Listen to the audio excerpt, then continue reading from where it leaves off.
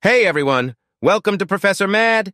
Today we have an incredible journey ahead as we dive into the world of IMAX technology. IMAX, short for Image Maximum, is an advanced film projection system developed in the late 19s. The primary goal was to provide audiences with an immersive and larger-than-life cinematic experience. A standard IMAX theater has a huge rectangular screen. A typical IMAX screen is 16 meters high by 22 meters wide, but they can be even larger. Imagine standing next to an eight-story apartment building that is wider than it is tall.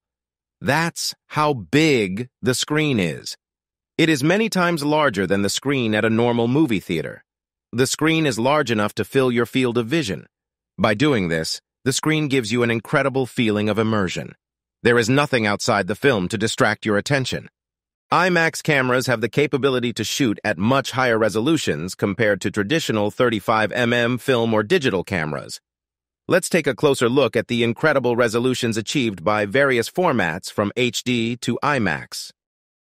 HD or 720p provides 1280 x 720 pixels of resolution, while Full HD or 1080p gives us 1920 x 1080 pixels.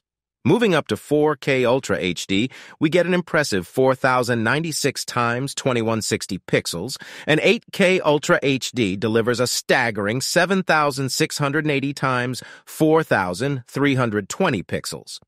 But the pinnacle of resolution is IMAX's 18K, boasting a jaw-dropping 25,000 times 18,000 pixels.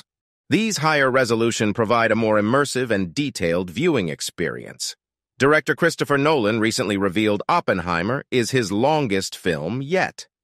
Now we know just how long the film is. Literally. The movie is set to run in 30 IMAX theaters, and the reel of 70mm film is a whopping 11 miles long, Nolan told the Associated Press. It also weighs 600 pounds. If you haven't experienced an IMAX movie yet, it's a must-try for every film enthusiast. Don't forget to hit the like button if you enjoyed this video and subscribe to our channel for more amazing content. Until next time, keep exploring the wonders of the silver screen.